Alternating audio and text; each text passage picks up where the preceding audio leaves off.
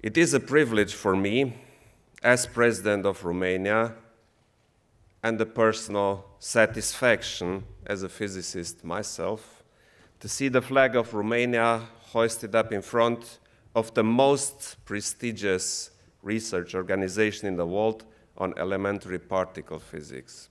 The organization is an excellent example of nations working side by side in full understanding and cooperation for the greater common good that we highly need peace and prosperity. I would like to convey my appreciation to the Romanian scientists, professors, and doctoral or postdoctoral candidates for their solid activity and their convincing results of their cooperation with CERN.